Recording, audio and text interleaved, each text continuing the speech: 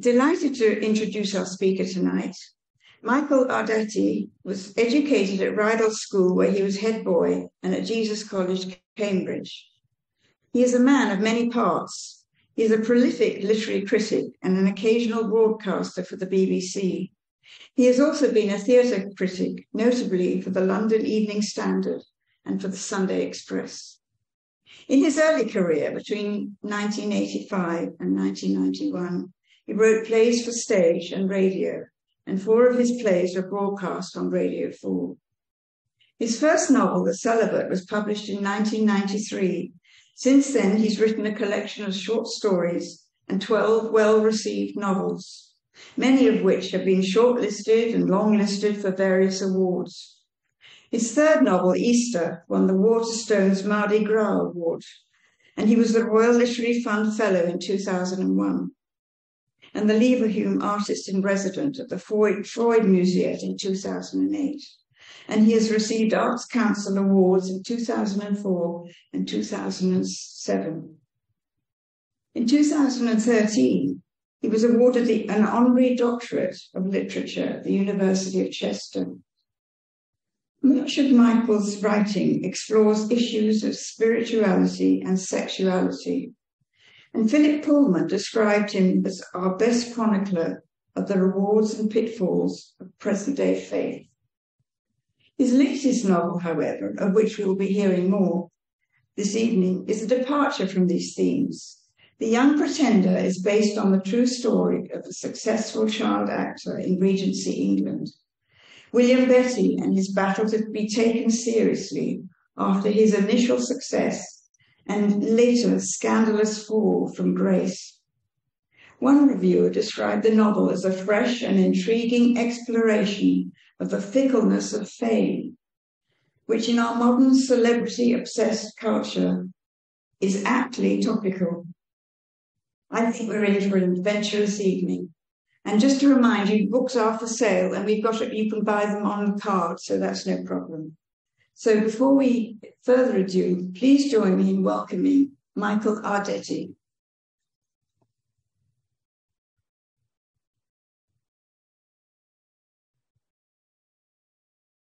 On my last visit to this city, sorry, I'm just going to use that for you.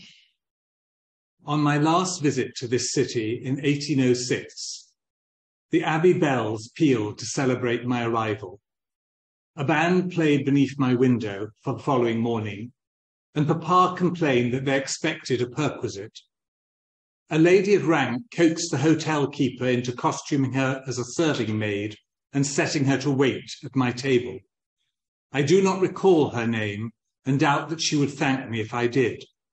I was 14 years of age. I am six years older now 10 inches taller, and my voice has acquired that mannish crack of which the poet wrote. Should my name spark a recollection, my figure swiftly dispels it, and I am able to enjoy the diversions of Bath unremarked.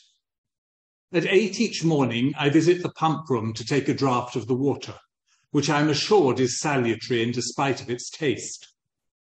I tarry while the orchestra plays a selection of German airs, before strolling to the coffee house where I read the newspapers, conversing with my fellow patrons on matters ranging from the war in Spain and the quakes in America to the building of Queen Charlotte's Orangery. I parry any question about the object of my visit with a casual allusion to physicians and cures. We then part company as they make their way to breakfast with friends followed by a morning concert or a scientific lecture, a game of billiards or piquet in the assembly rooms, a ride or drive in the countryside, or a gentle promenade in the parades and arcades, while I go back to the hotel to address the business of the day. Well, that's the, those are the first two paragraphs of my novel, The Young Pretender, which deal with William Henry West Betty, um, who at 14 was probably the most celebrated person in England, um, apart from the royal family and Lord Nelson, and is now, well, almost completely forgotten. Who was this child actor? Why was he acting on the country's major stages between the ages of 11 to 14? How good was he? What parts did he play? What did the other actors think of him? What became of him? And why did he become so completely forgotten? I first heard of him about 40 years ago when I went to an exhibition entitled The Georgian Playhouse at the Hayward Gallery. Um, amidst all the sort of rather grand uh, scenic designs and mock theatres, there was a screen de- devoted to Master Betty, um, and full of caricatures, because of course this was the golden age of the caricaturists. Um, there were caricatures of him by Cruikshank, Rowlandson, Gillray, all the names we know. Um, and amongst the rather, uh, he was a very innocent little boy figure in this, whereas there was a P- Sheridan, whom we probably think of just as a witty playwright and everything, is presented as a hugely obese figure, which he, by then he'd become, and Kemble, the great actor of the day with his great Roman nose. But there is this innocent child in the middle of him. Was he that, that innocent? One of the things I wanted to find out. Um, I discovered that at that time, he played some of the greatest roles that Shakespeare wrote Romeo, Hamlet, Macbeth, Richard III, as well as a lot of roles in plays that are now thankfully forgotten. Tancred and Sigismunda, Gustavus Vasa, The Royal Oak, The Earl of Essex, um, and one which you may know from your Jane Austen Lover's Vows. Um, so I tried to find out more about him. Um, and though another book has come out since called Betty Mania, um, there was actually only one book about him at the time. It was called The Prodigy by Giles Playfair. And he'd written it in the 1960s um, at the time of Beatlemania. And he was really looking at the fact that the only other time that there had been such extraordinary adulation of an audience for a performer was actually 150 years before for Master Betty. And it was no surprise that it was called um, Betty Mania. And he wasn't just an actor, he was a national celebrity in a way that we now take for granted, but wasn't so much then. He was merchandised in a big way. Um, all the women in the room would have had their Master Betty fans with pictures of him in various roles. Men would have had their Master Betty snuff boxes. And uh, little girls, particularly, would have had cutouts of him, and then you could dress him in various costumes. It's even worse than if you go to a big Western musical now and you get the cups and the t-shirts and everything else. It wasn't so much about the art, but the merchandising. Um, now, who was he? Uh, there were about 20 hagiographies, I use the word advisedly, written during this very short period of his fame, which was 1804 to 1806. And they all begin something like, our hero was born in Shrewsbury um, in, on, I better remember this, the 13th of September, 1791. Um, his family was a sort of squirearchical family. That was quite rare because to go into the theatre at the time was, you know, below the salt, as it were. Um, and he, his mother, Mary Stanton, was an heiress. She had a rather large estate called Hopton Wafers um, in Shropshire, which his father, who is, I'm afraid, one of the villains of the piece, um, mortgaged up to the hilt. And so at a relatively young age, about the age of four, um, his father took them from Shropshire to Northern Ireland. Um, and that's where the facts of his life become murky. Um, and in fact, they, most of them are. Uh, he went to a place near Lisburn in Northern Ireland. And some of these hagiographers say that he went to say with his grandfather, who was a noted physician. Others say that his grandfather had an estate. Others say that his father went to set up a linen factory, which is what I've taken because it just becomes slightly more dramatic. And, and further, and some of the others just say he went to become a farmer. Um, but uh, the Irish connection was very important to the story uh, because uh, at the time, uh, as well as the, being a, a, war, the whole of the United Kingdom was at war with France Bonaparte. And rather, as we've seen at the end of COVID, uh, people, theatre managers and things needed something to attract uh, audiences to come out at a time of great national peril.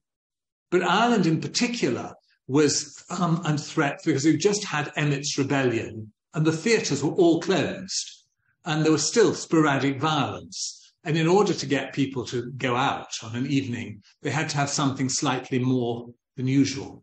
Um, but as soon as he'd gone to Britain, there became an, an attempt to divorce him from his Irish uh, origins because it was not really the thing. And in fact, you get one of, uh, one of the newspapers said, to render our narration as complete as possible, we shall commence with stating from the best authenticated documents that our hero is not, as has been reported, a native of Ireland, but owes his birth to the good soil of England. Um, now, the, there was always an attempt to show him as both a natural young man, a boy, and also a prodigy. So there was a time to say, well, he actually enjoyed childhood games. He played with his toy soldiers. He um, presented um, some of the famous battles. And at the same time, um, also as this extraordinary child who was almost a gift from God. Uh, um, he developed this theatrical interest very young. Again, this, nobody really knows why, how. Some say that his mother and his mother's sisters, his aunts, played um, charades and put on scenes of plays in drawing rooms. Somebody even said that his mother was had been a professional actress, and they got this reply. It has been repeatedly stated that Miss Stanton had been a performer on the public stage or that she had been in the habit of acting in private theatres, neither of which reports, we are assured, has the smallest foundation in truth.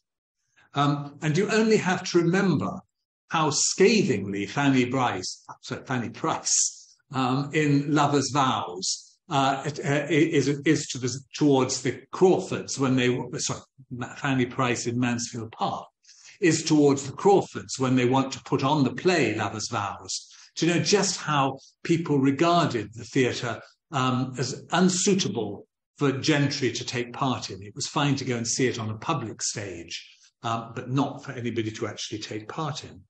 Some people suggested that it was actually his father's love of Shakespeare that had uh, encouraged Master Betty to, to, in his theatrical pursuits. Um, I find that very hard to believe. His father was actually a champion fencer, so he might have helped him in the fifth act of Hamlet, but I don't think he helped him very much else.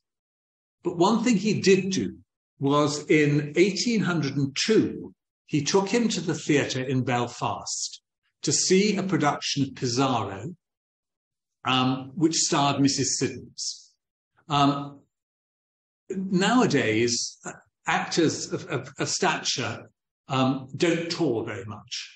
Um, and famously, of course, 100 years ago and also 100 years after Master Betty, Mrs. Patrick Campbell said, you know, I was a tour de force, I was never taught, forced to tour. Um, but in, in those days, the London theatres, of which there were only two, were only two official ones anyway, the two um, theatres royal, Drury Lane and at Covent Garden, they were only open for the London season. Um, the theatre in the Haymarket was actually open during the summer, but it wasn't licensed to do legitimate plays. So the great actors of the day, Kemble, Mrs. Siddons, Cooke, and Mrs. Jordan, amongst many others, would make their progress through the country um, and would play often for one night only in theatres around, taking home large fees. Um, Mrs. Siddons, who was basically the Judi Dench of her day, and unparalleled at the time, and regarded as, as the greatest actress perhaps Britain had ever produced, um, was the biggest draw of all. And she went to Belfast and she played the part of Elvira in Sheridan's play Pizarro. Sheridan, I think, now is best known for the two famous comedies, one of which is, of course, set in this city. Uh, but at the time, Pizarro was a much more successful play. It was based on a German play, and it was about um, Pizarro's uh, conquest of the Incas. But it had a more pertinent contemporary meaning for people than that. Because, of course, again, it was the war against Bonaparte. And the Incas were seen as the brave British people fighting against the might of Bonaparte's empire. Um, and there was a particular character called Rolla, uh, which actually Master Betty played to huge acclaim later. uh, had a speech, which was a very famous speech, in which he encouraged um, his own tribe to fight against um, Bonaparte. And um, when Master Betty played it, it was particularly successful because it was seen as the youth of England arising against the tyrant. Well, um, Mrs. Siddons played the part of Elvira, and Elvira was Pizarro's mistress. But during the course of the play, as in all good melodramas, she changed sides and actually betrayed him to the Incas. And then Pizarro put her to death. And this is the speech that she gives um, just as she is being led off to death, which gives some idea of A, the effect it had, well, Not Mrs. Siddons, but the effect it had on Master Betty, but also the extraordinary rhetorical cadences of the time, which are sometimes quite difficult to follow. Um, so this is Elvira. Soldiers, but a moment more. It is to applaud your general. It is to tell the astonished world that for once Pizarro's sentence is an act of justice. Yes, rack me with the sharpest tortures that ever agonize the human frame it will be justice. Yes, bid the minions of thy fury wrench forth the sinews of those arms that have caressed and even have defended thee. Approach me bound on the abhorred wheel, there glut thy savage eyes of the convulsive spasms of that dishonoured bosom which was once thy pillow. Yet will I bear it all, for it will be justice all. And when thou shalt bid them tear me to my death, hoping that thy unshrinking ears may at last be feasted with the music of my cries. I will not utter one shriek or groan, but to the last gasp, my body's patience shall deride thy vengeance, as my soul defies thy power. And that was precisely the sort of speeches, not obviously as Elvira, that Master Betty was giving in some of those plays that are forgotten. Pizarro is now unreadable, but it was a huge, huge success at the time. So I can turn the sound down. Oh God, it's it's gone. um, anyway, I'll carry on. Um, um, but um, the um, apocryphal story of the time is that Master Betty saw this and went home going, "I shall die if I be not a player." Um, well, he didn't die, but a year following, he was himself a professional actor. So what happened? How did this at the time 11 year old boy become an actor? And you, I think you can look at it in one word or two words. Um, William Hough. Hough was a prompter um, with the main theatre in Belfast, the King's Theatre in Belfast. Uh, but the theatres, of course, were closed. And somehow he met Mas- Mr. Betty, the father. Um, in my novel, I make it at the races because where Master Betty, who lived with his parents, was quite close to the main racecourse at the time. And Mr. Betty, as we discover later, is an inveterate gambler. Um, and but a prompter was a much, much more important role in the theatre than he might be now. Um, he was effectively the director. Uh, he, together with the leading actor, would arrange uh, how he wanted the actors to stand. He would make out their parts, which were called lengths. Actors didn't see the whole play. They were just given their parts and their cues. And it said, you know, quite often actors didn't know if they were appearing in comedies or tragedies because they just had their own parts on it. Um, the first stage director of, of, any note was actually the Duke of Saxe-Meiningen in Germany in the 1850s. He had his own private theatre and his own private troupe of actors. Uh, but before that, it was just a role that was totally unknown. So he, Hough wasn't just um, a, a prompter, though perhaps being a prompter at the time was rather more significant again than one hopes it is now, because lots of the actors, including, for example, Cooke, whom I've mentioned, often turned up drunk. It was said of Cooke that um, half his part had been played in the prompt corner. Um, and other, others, of course, because of the extraordinary turnaround of plays, um, wouldn't know their lines terribly well. But he met Mr. Betty, um, and he saw something in the boy at the time um, which attracted him hugely. the nature of that attraction is something I, would like to look at a little bit better, but whether it was talent, whether it was beautiful, beauty, and one has to remember, uh, which is quite crucial, that Master Betty was an extraordinarily beautiful boy. Um, and um, he talked to his theatre manager, a man called Michael Atkins, uh, about um, Master Betty. And according to the, the bill, the, the, bill that was posted outside the theatre and then the notice that was put in the newspapers, um, Michael Atkins was, was persuaded somewhat reluctantly to give the boy a chance. And this is what he said. A young gentleman of this neighbourhood, only 11 years of age, having given such striking proof of a wonderful genius in theatrical oratory that the most critical judges have pronounced him a phenomenon of the age, Mr. Atkins, anxious to gratify the lovers of the drama to the utmost of his powers, has, through the intercession of several ladies, prevailed on the young gentleman's friends to permit his performing two or three of the characters he most excels in. And again, it's significant that he referred into that as into ladies, because there was already, even at the very beginning, a certain ambiguity about Master Betty's attraction, and it was felt safer to mention the ladies rather than the gentlemen. Um, and he his first role um, was as was as um, and I can't even find it.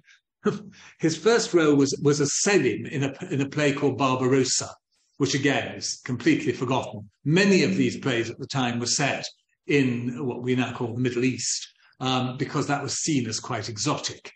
Um, and it was a tremendous success, at least according to the hagiographers, to the puffs. Um, and there was a much, I was a theatre critic for a time, and I was completely and utterly incorrupt, incorruptible.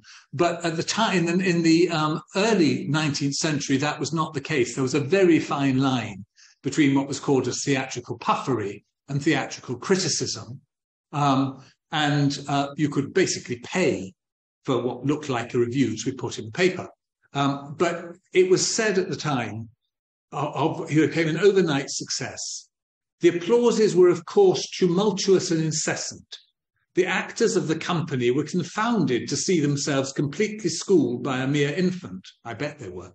Um, the next day, little Betty formed the common topic of conversation in all parts of the town.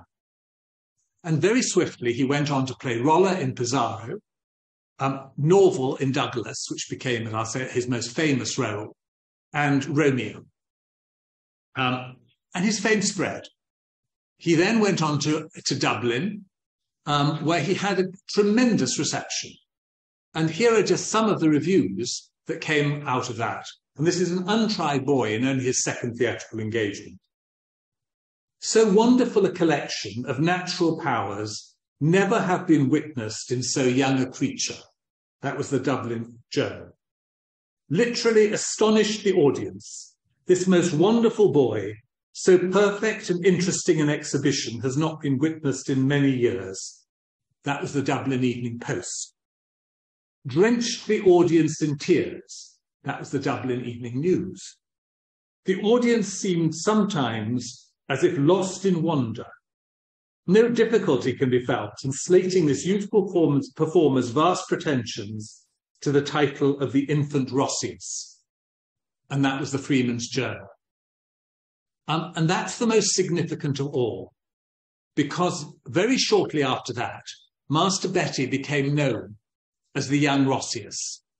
Um, people who remember Hamlet uh, may remember the exchange between Hamlet and Polonius when the players come to Elsinore and when Roscius was an actor in Rome. And Roscius was the great classical actor, or actor of classical times. And Garrick, who had died just over 30 years before Master Betty's debut, had been known as the English Roscius. Garrick was a national hero in a way that no actor, a middle-aged elderly actor, has been ever since. I mean, even Olivier, um, because the theatre was the only game in town, uh, the only game in the country. Um, and when he died, it was felt that a whole tra- sort of tradition had, had died with him. Um, he was known as the great natural actor. Now, being a natural actor then was not what we would see as a natural actor now. It was believed when you were acting that there were specific uh, gestures and expressions to define particular emotions, um, be it sorrow, anger, pity, fear, love. And you just had to do that in the same way as you had to say your lines. And Garrick did just as much as anybody else. But what he did do, from what one can read, was that he expressed those attitudes, they were called attitudes, more swiftly, more fleetingly between them than any other actor had done. So it wasn't that he was more natural, but that he was quicker about it, if you like. Um, and you only have to see some of the famous pictures of him. I can't do it because of my stick, but there's a very famous picture of him, I think it may be by Zoffany, before the Battle of Bosworth. And he is standing there, he's sitting there doing this. Um, and I mean, you know, that would not have got him much applause today. And um, in my novel, uh, Kemble, who was seen as the antithesis of Garrick, uh, when he's being sneered at for not being a natural actor like Garrick, mentions what was strictly true that Garrick had a wig when he was playing Hamlet uh, with a little cord here.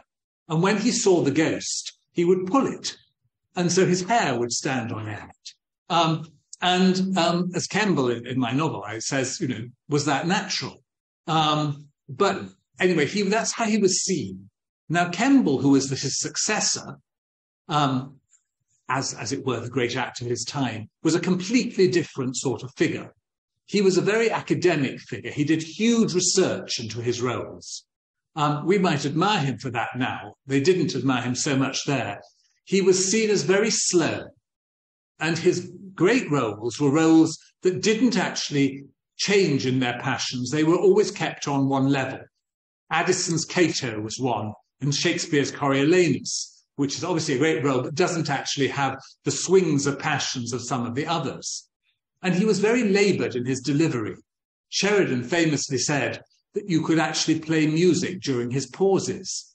Um, so there was a great sense that a lot had been lost.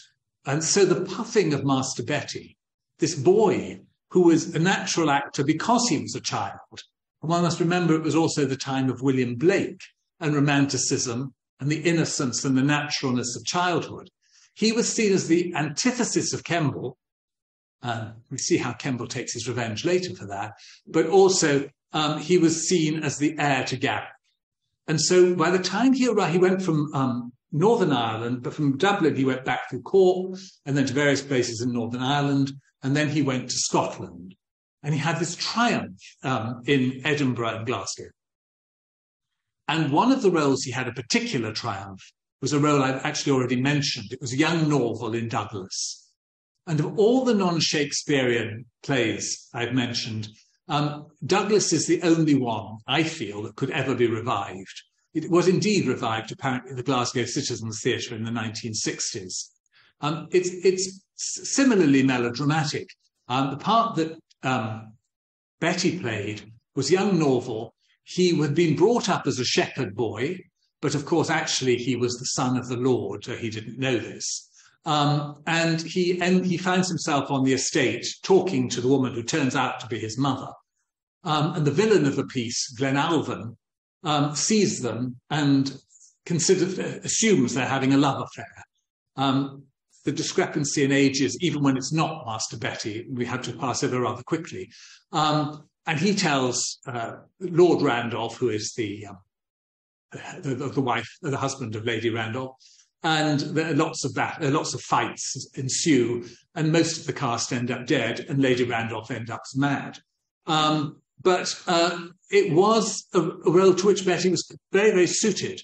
And in fact, the greatest of the many portraits of him of the time, which is now in the National Portrait Gallery, which was by Opie, um, is of him as young Norval. It's the most wonderful portrait. And you can see in that, he, he's standing there, the staff.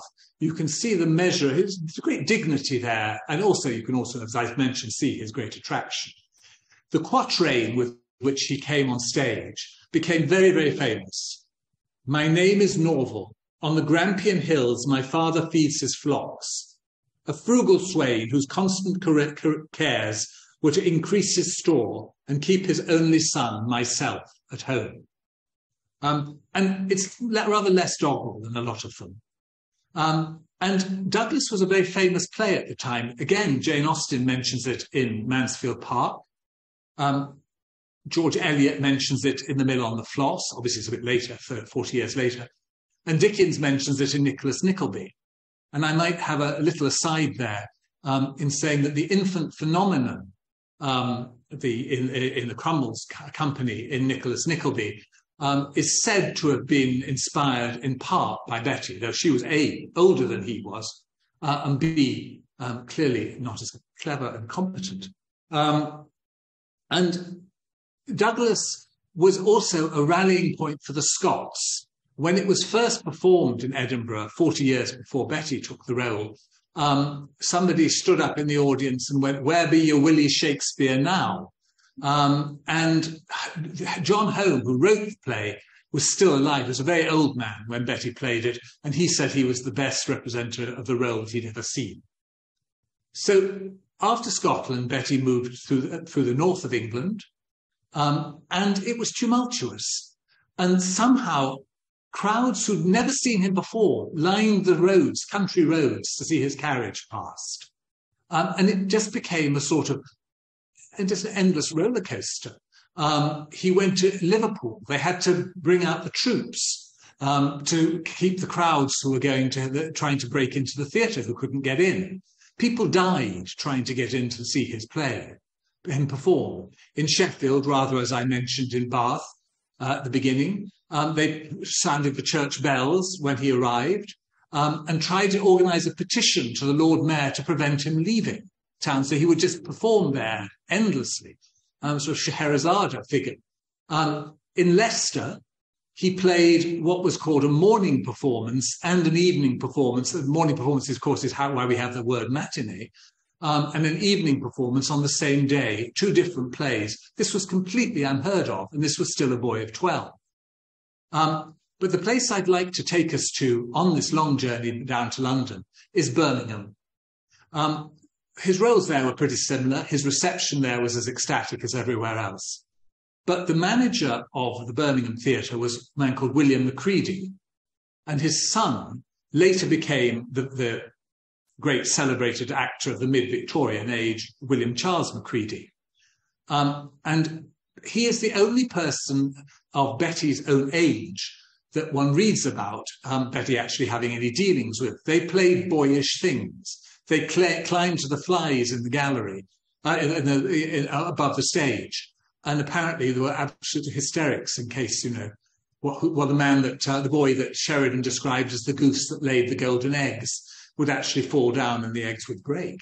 Um, there, he and Macready, who had a very jaundiced eye to his fellow performers, he always regarded having gone into the theatre as something beneath him and most of the players as even further beneath that, always had good words to say about Betty in later life. Um, and I think that's important when we ask, as, as people did ask, was he actually any good as an actor? To remember that Macready did rate him. Um, and it was in Birmingham that the London managers came to see him and the uh, really fight for him to behave, to perform there took place. Um, the two theatres I mentioned before, Covent Garden and Drury Lane. Drury Lane was in the hands of Sheridan. Um, one has, as I said, this image of Sheridan as somebody who wrote The Rivals and The School for Scandal and witty and charming and eloped with Eliza Linley and all the rest of it. But by this point, he was actually um, mainly his ambitions were, thea- were political. He was a major Whig politician. He was a manager of Drury Lane, and he um, exploited that. He, he, drained the coffers in order to fund his political stuff. Um, and he was completely venal. He paid um, Kemble and Mrs. Siddons when they were working there and Mrs. Jordan because he had to pay the stars and he didn't pay the supernumeraries and the carpenters. And famously, he moved his, his um, office down to the ground floor so he could jump out of the window when anybody came asking for money. Um, he was not the most sort of salubrious character, if you like. Kemble had left him and had gone to work for, uh, um, um, I forget, a man called Harris, Thomas Harris at, at, Covent Garden, and he was the manager. And it, it galled him. He was the one who had to go up to Birmingham to see um, Master Betty perform and to try and engage his services for Covent Garden. It's said that he coughed all the way through his performance. Um, and Kemble managed to secure his services. Sheridan, however, thought this would be the absolute ruination of his theatre and found a, a, a loophole in the clause that said that when the, it wasn't an exclusive um, contract, so that when uh, Betty was not performing at Covent Garden, he could perform at Drury Lane. And so this boy was performing alternate nights at Covent Garden and Drury Lane, which was completely unheard of. He also performed for staggering fees. He was offered 50 guineas a night, which I'm told, in terms of actually what it bought then, was more than any stage actor has been paid ever uh, since then. And to give you one example, Kemble, who was by far the best paid actor in England and was also a manager, was only paid £37, 10 shillings a week.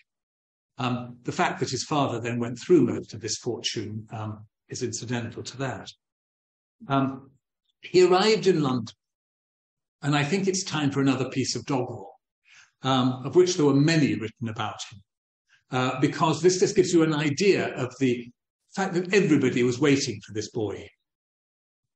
What sounds confused my ears? From priests, from poets, actors, peers, what mania fills the town? Smiles, greetings, salutations all, one buzz of joy mongst great and small, the world sure upside down. Oh, bless my heart, old Levy cries. Dear me, the Christian miss replies. Ben Block too aids the clatter. Huzzahs augment the swelling tide. Pleasure prevails on every side. John Bull cries, What's the matter? The matter, John, thy ears stretch wide, thy wig straight, whate'er betide. The bard thy news shall tell. To gain the truth he has contrived. No Master Betty's just arrived at Richardson's Hotel. And it wasn't satire. The hotel was besieged. They had to put um, rushes down on the cobbles when he wasn't well in case the number of carriages came to inquire about him um, actually disturbed him. They put bulletins on the railings, which uh, uh, doctors put daily bulletins of his state of health. He just he was just overtired, um, which not, was only ever done with, for the royal family. Um, so it was this complete sensation. And in December the 1st, 1804, just a couple of months after his 13th birthday, he made his debut at Covent Garden, once again in Barbarossa. He played a part of Selim. Um, Selim doesn't appear until the second act. I'm told by my actor friends that it's rather good if you don't appear until a bit after a play has begun because people are talking about you. And if you're a well known actor, people are waiting for you. In this case, it wasn't so good for the other actors because they couldn't be heard. Um, the whole of the first act, people were just waiting for Master Betty to appear and chattering amongst themselves. Um, and then he did appear and caused, as I said, a sensation. Um, such a triumph that uh, James Northcote, a painter who painted the other most famous painter painting of, of Betty, um, and the one he appears in my novel quite a lot, uh, wrote, "He and Bonaparte now divide the world, and others saw no rival in even in the French empire, emperor." The Morning Post wrote, "The war and Bonaparte were for a time unheeded and forgotten." And Lady Elizabeth Foster, soon to be the um, Duchess of Devonshire, spoke for many when she wrote, I saw him last night as Norval in Douglas. He is but 13, and yet I never saw anything to compare to him. He is the inspiration of genius, with feeling beyond his years and a knowledge of the stage equal to any performer and far more graceful. In short, he has changed the life of London. People dine at four, go to the play and think of nothing but the play. And this unparalleled celebrity continued for two seasons. He was feted by the royal family. The Prince of Wales, who later became the Prince Regent, gave him a private tour of his great house, the Mall uh, um, Carlton House. Um, his brother, the Duke of Clarence, later to be William IV, who of course was having a, uh, a long affair with the with Mrs. Jordan, the great comedienne, who bore him 10 children, and then he uh, terribly, cruelly abandoned her in, mar- in, order to marry a German princess. but he and Mrs. Jordan took um, Master Betty to stay for two weeks at their house, Bushy House. Duchesses vied to um, drive with him in Hyde Park. Uh, he had to go and play, after long performances, he was expected to go and recite at people's soirees. Um, one of which he was the other um, performer was Emma Hamilton, uh, Lady um, Lord Nelson's mistress, and uh, he did. She did her famous attitudes in which she represented figures from classical mythology, and she was so uh, attracted to Betty that she grabbed him and held him very close to her very powdered bosom. Which again, one of the few of his authentic remarks we have, where he said, "I'm too old to be kissed," um, and not something that quite a few of her lovers had said. Um, but the whole of society uh, was after him. Uh, and just after this meteoric rise, he had a merciless fall. Um, what were the reasons for this? Uh, partly they're his father. His father was very, very exploitative. He um, took all the, the money his son could get. He drugged his son. It's known that he gave him pills and rum in order to perform after uh, he'd been on stage to perform at the private soirees. And anybody who knows sort of stories of Hollywood child actors like Judy Garland can see that Master Betty was really the prototype celebrity like that. And incidentally, there are also calls for Lord Eldon, who was the Lord Chancellor, to put him under his wing as a ward. And again, the recent case of Britney Spears being made a ward of court um, shows again this thing, I guess, as it recurs. Um, but so his father was very, very jealous of Hough. Um, he didn't like the idea that somebody was actually um, instrumental in his son's success. Um, and I think Hough was absolutely critical. I, I, think it's clear that Betty had great natural talent. Let's go a second. But um, he clearly had to be taught. And I have a couple of lines in my, my novel. I don't know if they're authentic, but they seem authentic to me, in which um, Master Betty, he's now older, is looking back on his childhood and remembering Hough and goes, I realize that without intending it, I have echoed not just the cadences of Mr. Hough's speech, but the tones of his voice. Tones drummed into my consciousness until they rang in my ears each time I stepped out on the stage. Um, and he started to play parts for which he wasn't suited. Now, you might say that he really wasn't suited to play any of the parts he played in terms of age. But whereas you can just about seeing a boy 13 play um, Hamlet, I suppose it's really not any less remarkable than Ian McKellen playing it at 80, uh, where he's supposed to be a student, and Romeo, who was a, a youth, um, to play Richard III and Macbeth, which were parts that really weren't in his range, but also um, didn't make the use of what was his natural attraction, um, with Richard III particularly supposed to look deformed. That didn't go down well. Um, and Master Mr. Betty took over the teaching of his son himself. And then there is what we have to look at, the more sinister aspect of his appeal, which, and there was clearly a paedophiliac um, attraction. Um, when Hough was dismissed by Master, Mr. Betty, so I get my masters and misters muddled up. When Hough was dismissed by Mr. Betty, there was a caricature in the Morning Post, and it said, wanted dramatic tutor to the young Roscius. Um, and underneath it said, for I've a wondrous rod in pickle, your pretty little bum to tickle. Um, well, you can't get much more explicit than that in an early 19th century newspaper. Um, and there was one particular character who was called Thomas Lister Parker, who had the wonderful title of the bow bearer of the Forest of Bowland, which apparently is an office older than that of Earl Marshal.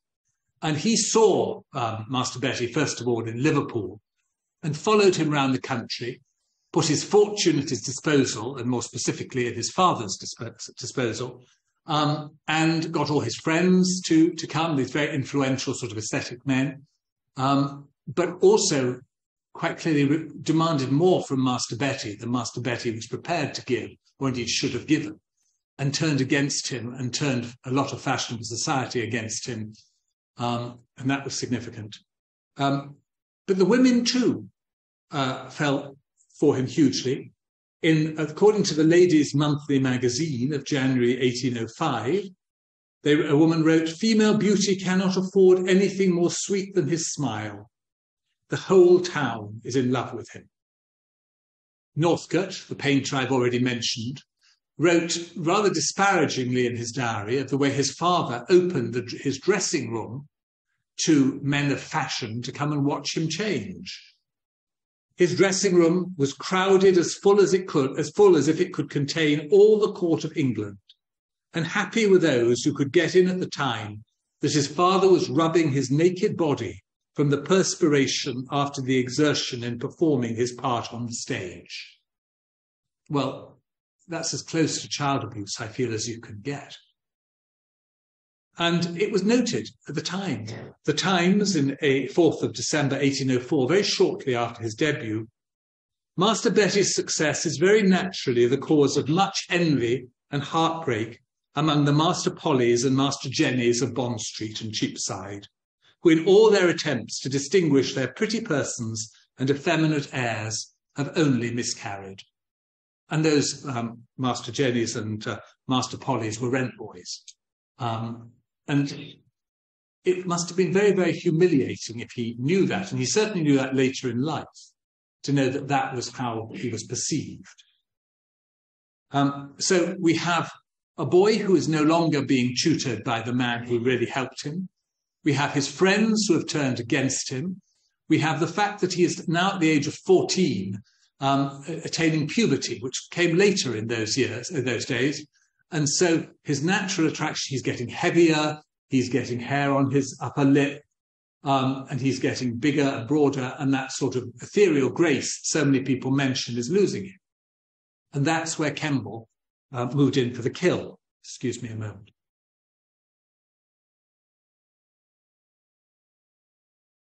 He didn't do so directly. He didn't do so directly. He did it by stealth he cast a very young girl of seven who lisped, whose baby teeth had fallen out and whose uh, other teeth hadn't grown, is the title role in a play called The Country Girl, which was Garrick's Bowdlerized version of Wycherley's wonderful restoration comedy, um, The Country Wife. But at that time, it was regarded as, as, as too bawdy for the more refined tastes of the late 18th, early 19th century. But Kemble certainly gave us back the indecency by casting this seven year old girl uh, whose lover um, had to crawl on his hands and knees in order to kiss her. Um, he gave us a confident, the tallest actress in the company. And if that weren't enough, he gave her a two foot high ostrich feather um, uh, hat. Um, and the girl was, was booed off the stage, and her understudy had to come on and take it over. Uh, but it was known that though it was obviously Miss Mudie that was, sorry, I don't know if I mentioned she was called Miss Mudie, not a most happy name. Um, though she was the one that was being attacked actually on stage, it was aimed at Master Betty. Because once you'd said, look at how terribly ju- juvenile performances are devaluing our art, it was very easy to move from the one to the other. Um, fashion proved its fickleness. Uh, he was not hired for a third season. Um, he, he, he went around the country for another couple of years, uh, playing quite successfully in the provinces, being billed increasingly inappropriately as Mr. Master Betty. And then he played his last performance once again at the Theatre Royal here on March the 18th, 1808. Um, and he went to Cambridge. Again, people went, he was 16 at the time, went earlier. We know very little about his Cambridge career, except that he, his great friend there was a man called Harness, who was the boy that, well, as a boy, was the one um, Byron was in love with at Harrow. And I should also mention that Byron went into raptures over Master Betty, and then in typical Byronic way, once he fell from fortune, said he was the biggest charlatan ever. Um, and, but he didn't take his degree. He went back to Shropshire because his father was dying and then he took over his father, he took over his estate, which was actually his. It had been bought with his earnings, and he seemed to settle into the life of a country squire. We know that he practiced archery. He became a captain in the yeomanry, but clearly this was not enough for a man who knew know, the applause of thousands. Um, and he tried to make a comeback. and he began, as I said, his comeback here at the age of 20. Um, and that's where my novel begins. Um, it certainly didn't end happily. There were two suicide bits, um, one which Giles Playfair described, and one which was an attempt to slit his throat, and one which I discovered, and as far as I can see, nobody else ever did, because I was in the British Museum looking for, for a wonderful thing called the Annals of Old Drury, and um, they referred to this. I'm not going to say what it is because I hope people will get the book and see. Um, but um, he didn't succeed in his suicide attempts, and he lived on till the age of 82, almost 60 years after his triumph. And it seemed he lived a very happy country life after discovering that he really couldn't recreate his youthful triumphs. But the most extraordinary thing is that he put his own son on the stage at the age of 15. And you, um, why had he forgotten or indeed repressed the memories? And that's again something I particularly consider the nature of his memories of his childhood. Or was he trying to redeem himself? And Henry did go on to have a moderately successful um, career, but um, he was always known as the son of the young Roscius, which can't have gone very well. Um, and one of the, as I put it here in the book, one question above all gnaws at my brain. This is Master Betty speaking, or Mr. Betty now. Was I a prodigy equipped by nature to play characters of every stamp, or a youth of rare ability who had come into my own when I was of age, my heart more conversant and figure more congruent of the passions I portrayed. If the former, I may already have attained my meridian. If the latter, my second incarnation will transcend my first. And sadly, that second incarnation didn't transcend the first.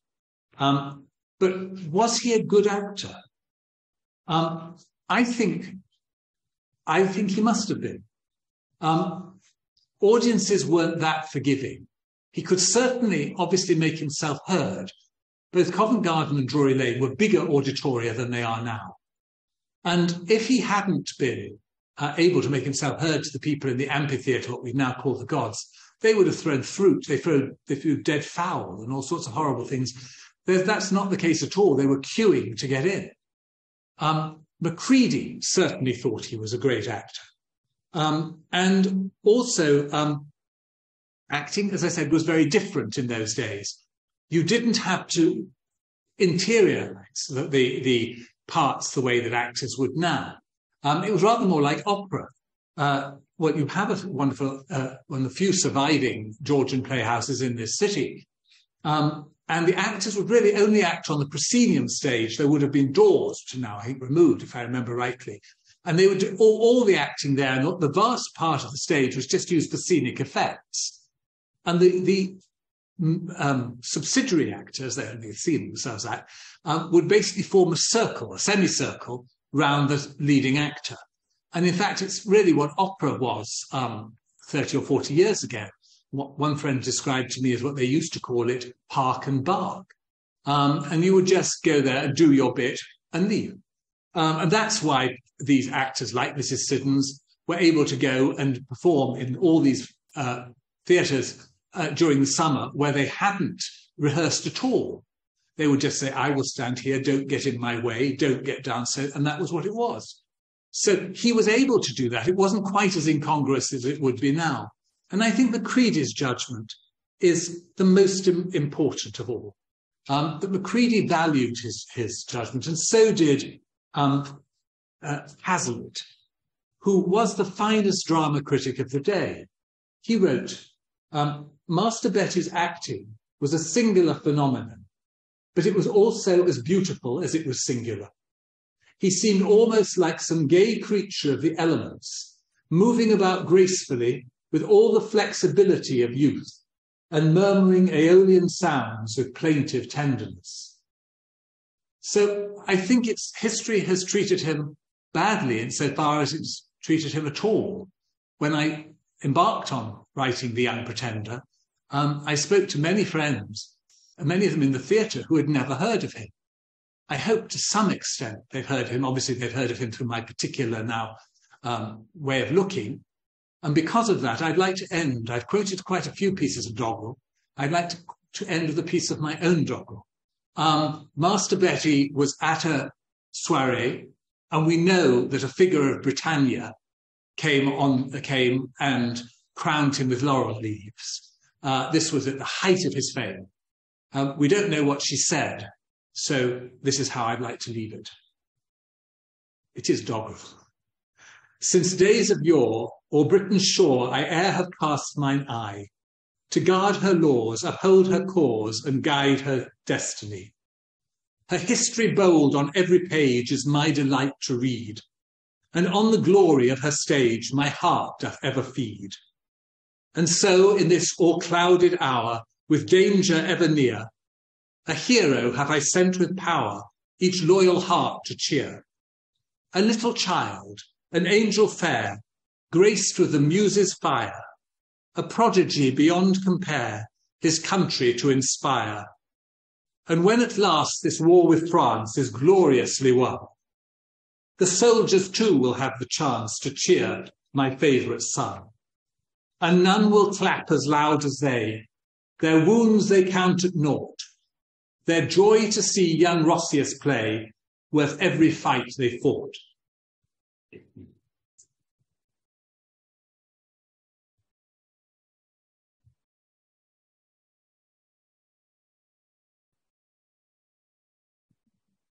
you like, would you take some questions? Yes. Yes? Has anybody got any questions? Yes? You speak that way. Is that okay? Hi, I was wondering um, about his voice, which would have been broken, which wouldn't have broken presumably at the time that he was at the height of his fame. And you know, if he was playing Macbeth and Richard III, that would have come across quite strangely, I would think, if he had the voice of a girl, effectively. Um, his voice broke just at the time, was part, I think, of his fall from grace. Because, yes, no, he, he, he exactly that. He was, um, he, he hadn't, he broke, voices broke later in those days.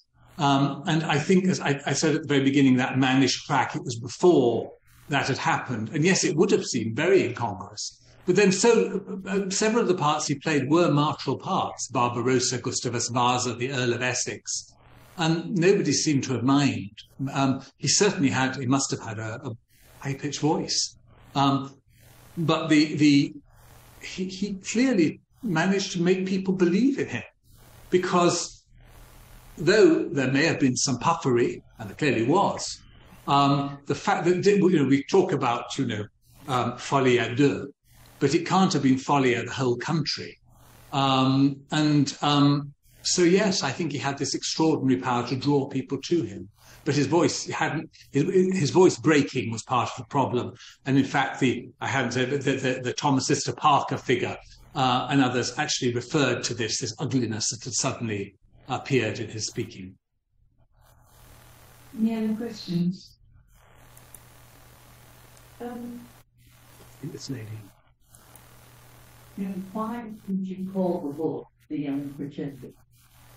Well, uh, it's a, a, sort of pun. Um, acting is to some extent pretense, and he was also the pretender to the, you know, the, the dramatic throne, the throne that Garrick had had and that Kemble had. Um, so it was quite simply that, really. Uh, it's um, yes, titles are always a difficult thing. Um, somebody once said that a good title is the title of a good book. Uh, but in this case, I just like the idea of the, the, the, playing on, slight playing on words. like after this?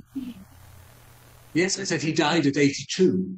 Um, and uh, apart from putting his son on the stage, um, well, his son was 15. Uh, he married. He married a, a Shropshire woman um, who we know absolutely nothing about. Uh, and he he um, went back to live in once his son had success uh, was moderate. He went back to live in Shropshire. Um, we hear of him sometimes of presiding at country fairs. There's one rather poignant moment where, if, you were a star actor, you were given the right to, to on, be on the Covent Garden Drury Lane free list for life. He was very rich, but he turned up at the pit door and he wasn't given access. And he writes a letter to Macready, who he knew of old, saying, you know, and it begins, I hope I didn't embarrass anybody by assuming I had a place on the free list, which of course should have. And Macready immediately reinstates it and gets another thing. And he died, um, as I said, 82, which was a, a good age then, and he's buried in Highgate Cemetery with his wife and son. Um, in the old part cemetery, rather, well, almost all those um, monuments there are pretty tumble down. Uh, but it seems he had a relatively benign old age, um, as one knows. Any other questions? In the book, like, you paint a picture of him really being quite addressed, being exhausted and taken out in evenings, not really knowing how to behave on those kind of social occasions. Even is there a hint of him being picked out by his father? I, I don't know. Well, not, not I mean, yeah, I, I, that of course is is my imagination of what it was like for a boy having played Hamlet or roles of that length. Um, and the performances went on a long time because the intermissions were long as well, because it's such a social occasion. Then having to go out uh, and act, uh, well, not act, recite, usually recite speeches to audiences of very grand people. Um, having been given this rum and pills, I would be pretty depressed. Um, but I, um, well, when I was that age, I was, um, and I, I, I, yeah, I mean, his father, if, if, to have his, you know, to say, come into my, you know, come and watch my naked son being dried, um, because, you know, uh, and, and, have all these men staring at you, um, when you're 13 and probably very, well, when you're 13, self-conscious or whatever. Um, I would, yes, I, I, that's just my interpretation of it. I can't imagine he found this very uh, welcoming and attractive.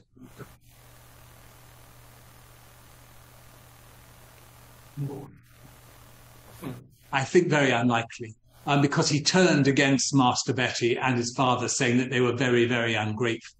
This is the bow bearer of the Forest of Bowland, um, and um, he was a really reprehensible character actually rather he went through his family fortune um, buying extraordinary um, paintings from Germany and all this sort of thing and things that of the aristocrats who'd been uh, executed in the revolution and then everything had to be sold off including these portraits of Betty which are now in the National Portrait Gallery. Uh, but I don't think uh, I don't think so. I mean it's certainly not on record. It is on record as I stated here, that he was perceived in newspapers and things as having a sexual allure for men. Um, and that's as far as they went. Any other questions?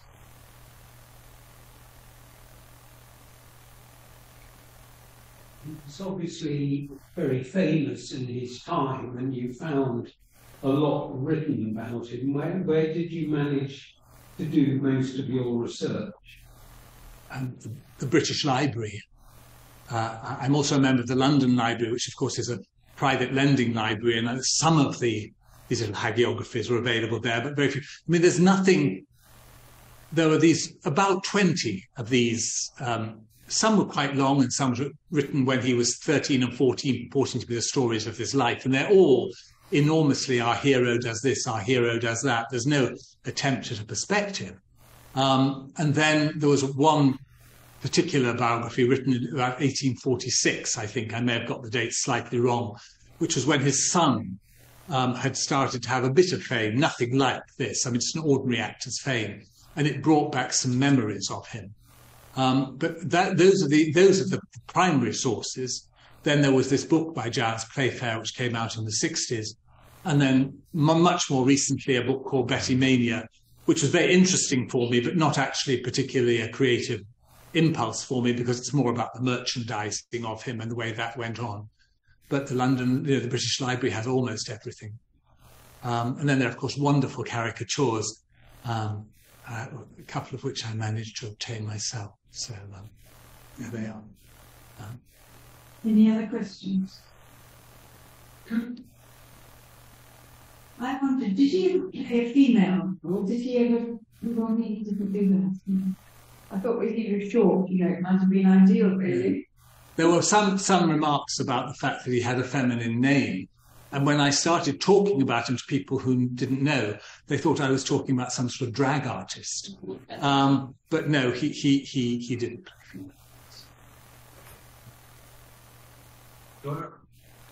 You became huge, fast when He did become very fat, yes, and I again used that as I thought it was a defense. You know, if you are, if if you feel you have been admired for your looks rather than your talent, um, one of the ways you might actually, this is a, me as sort of psychotherapist rather than me as researcher, but one of the ways you might escape that is by making yourself fat, so nobody is going to love you for your looks. You know, um, the trouble is for an actor, the looks are part of your two of your trades. It didn't help. Okay. I think, I think there's no more questions. Well, thank you very much. That's really interesting. I think we're all going to start looking and seeing, see if we can find a bit more about him. I certainly am. Anyway, do look at the book because um, it's you can get it on the car, so you don't have to have cash to buy it. So it's, thank you very much. That was it. And I am going out uh, shortly, but if anybody would like to sign me to sign it, I can do that before I go. Thank you. Thank you very much.